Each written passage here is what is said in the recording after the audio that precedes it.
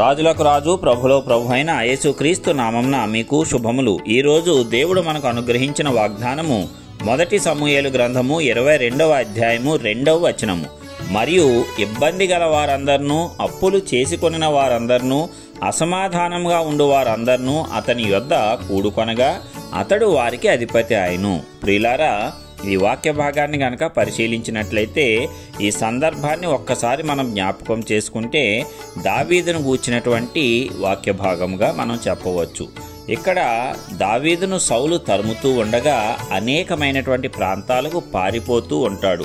కొన్ని రాజ్యాలలో కూడా ప్రవేశిస్తాడు. అయితే అక్కడ కూడా మరి క్షేమకరం కాదు. ఎందుకంటే రాజులు రాజులు మరి మాట్లాడుకుంటూ ఉంటారు. కాబట్టి ఒక వ్యక్తి పక్క రాజ్యం నుంచి వీరి రాజ్యంలోనికి వచ్చినట్లయితే ఎందుకు వచ్చాడు అని మరి సమాచారాన్ని సేకరించటము అవతలి దేశం యొక్క రాజుకు తెలియజేయటం కూడా జరుగుతుంది. కాబట్టి అక్కడ కూడా క్షేమకరము కాదు అని దావీదు మరలా ఆ రాజ్యాలను దాటుకుంటూ కొండల్లో గుహల్లో దాక్కుంటూ ఉంటాడు. అక్కడే మరి కొంచెం క్షేమకరమైనటువంటి పరిస్థితి ఉంటుంది. ఎవరికి కనిపించకుండా దొరకకుండా సైన్యం చేతికి రాజు చేతికి చిక్కకుండా ఉండటానికి దావీదు ఆ రీతిగా శ్రమలు పొందుతూ ఉంటాడు. మరి ఉన్న చోటే ఎక్కువ రోజులు కూడా ఉండకుండా వివిధమైనటువంటి ప్రదేశాలు ప్రాంతాలు తిరుగుతూ ఆ యొక్క స్థలాలను మారుస్తూ ఈ రీతిగా దావీదు కొన్ని సంవత్సరాల పాటు సౌలుకు భయపడి తన ప్రాణాన్ని రక్షించుకోవటం కోసం తిరుగుతూనే ఉంటాడు. దావీదు అలాగ తప్పించుకొని పారిపోతూ అదుల్లాము అనేటువంటి గుహలోనికి తప్పించుకొని వెళ్ళినప్పుడు అక్కడ అతనిని తన యొక్క సహోదరులు అలాగే తన ఇంటి వారందరూ వచ్చి పరామర్శిస్తారు.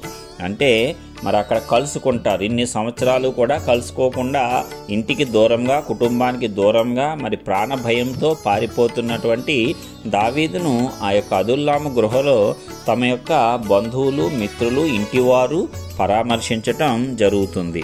అదేవిధంగా అతని యొద్దకు ఇబ్బందులున్నవారు అప్పులు కలవారు జీవితంలో సమాధానం కోల్పోయిన వారందరూ కూడా వచ్చి చేరారంట. అలాగ చేరిన వారు ఇంచుమించు నాలుగు వందల మంది అక్కడ ఉన్నట్లుగా మన వాక్యం ద్వారా తెలుసుకోవచ్చు. అయితే ఎందుకు ఆ నాలుగు వందల మంది వచ్చి దావీదు వద్ద చేరారు?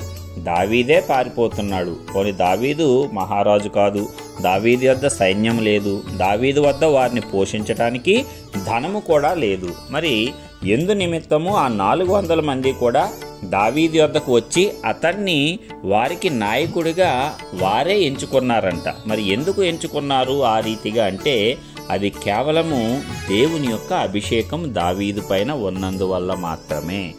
మామూలుగా మనుషులు అధికారం ఉన్నవారికి లోబడటమే కష్టము. మనము కూడా చూసినట్లయితే ఆ ముఖ్యమంత్రి ఎవడు ఈ ప్రధానమంత్రి ఎవడు అని అనేక మంది తిరస్కరిస్తూనే ఉంటారు. అధికారాన్ని ధిక్కరించేవారే అధికంగా ఉంటారు. వారి వద్ద ఏమి ఉన్నా లేకపోయినా వారు తక్కువ స్థాయి వారైనా సరే కనీసం అధికారాన్ని గౌరవించిన వారు కూడా అనేకులు ఉంటారు. అయితే మరి ఇక్కడ దావీది వద్ద అధికారం లేదు ఏమీ లేదు. అయినా సరే అందరూ వచ్చి నాయకుడిగా దావీదును ఎన్నుకున్నారు. నాలుగు వందల మంది వచ్చి దావీదును తమకు అధిపతిగా ఉండమని అడగటం అనేది మరి దేవుని యొక్క అభిషేకం వల్ల కాకపోతే ఇక దేని వల్ల సాధ్యమవుతుంది? దావీదు వద్ద అన్నీ కోల్పోయినా సరే దేవుని యొక్క సన్నిధి దావీదును విడిచిపెట్టి వెళ్ళలేదు. దేవుని యొక్క అభిషేకం దావీదు మీద ఉండటం వల్ల దావీదు కూడా దేవునితో సహవాసాన్ని ఎలాంటి స్థితిలోనూ మానకుండా కొనసాగించినందువల్ల ఆ అభిషేకం దావీదు పైన నిలిచి ఉన్నట్లుగా మనం చూస్తున్నాం.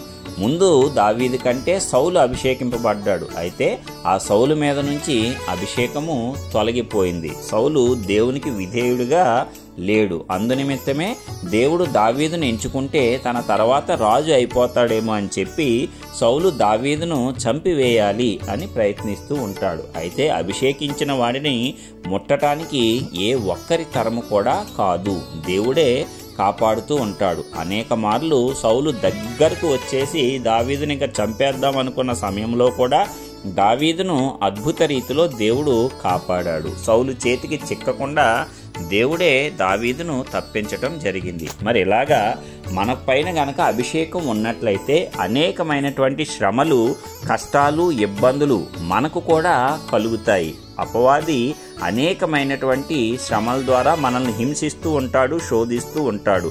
వాటన్నిటి నుంచి మనం చనిపోవాలి అన్నంత ప్రాణం విసిగిపోయేలాగున వాడు చేస్తూ ఉంటాడు. అయితే మనము గనక దేవునితో సహవాసంలో నిలకడగా ఉన్నట్లయితే దేవుని యొక్క అభిషేకం మన మీద నిలిచి ఉంటుంది. ఎలాంటి విపత్కర పరిస్థితుల్లోంచి అయినా సరే దేవుడు మనల్ని అద్భుత రీతిగా తప్పిస్తాడు. దావీదును తప్పించిన దేవుడు మనల్ని కూడా తప్పిస్తాడు. అదేవిధంగా అభిషేకము వల్ల ఇంకొక ఉపయోగం ఏమిటి? నీవు ఎక్కడ ఉన్నా సరే నాయకుడుగానే ఉంటావు. దావీదు ఆ యొక్క శ్రమల్లో తన యొక్క శ్రమల్లో కూడా మిగిలిన శ్రమల్లో ఉన్నవారికి నాయకుడైపోయాడు. అదే విధంగా మనం కూడా శ్రమల్లో ఉంటే మిగిలిన శ్రమల్లో ఉన్న వారందరినీ కూడా ఆదరించే వారిగా కూడా మనల్ని దేవుడు ఎన్నుకోవటం జరిగి జరుగుతుంది. కాబట్టి అభిషేకం వల్ల అంత గొప్ప సామర్థ్యం అనేది మనలో వస్తుంది. అది దేవుని యొక్క సామర్థ్యం మాత్రమే.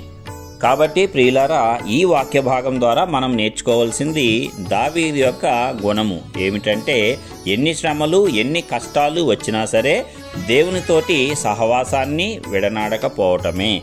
మనము కూడా జీవితంలో ఎన్ని ఒడిదుడుకులు వచ్చినా సరే దేవుణ్ణి విడిచిపెట్టకుండా దేవుణ్ణి ఆశ్రయించి ఆయన యొక్క సహాయం కొరకే ఎదురు చూచినట్లయితే అద్భుత రీతిలో మన కష్టాలలో దేవుడు మనకు మేలు చేస్తాడు. మరి దేవుణ్ణి ఆశ్రయించినప్పుడు మన యొక్క జీవితాన్ని కూడా విజయవంతంగా కొనసాగిస్తాడు. శత్రువు చేతికి చిక్కకుండా మనల్ని కాపాడుతాడు. దావీదుకు కలిగినటువంటి ఇలాంటి అనుభవమే మనందరి జీవితాల్లో మనం కలిగి మరి అద్భుత రీతిగా తప్పింపబడటానికి విడిపింపబడటానికి అలాగే విజయం సాధించటానికి పరిశుద్ధాత్మ దేవుడు సహాయం చేయాలని నజరేయుడైన యేసు నామమున ప్రార్థించుచున్నాను. ఆమెన్.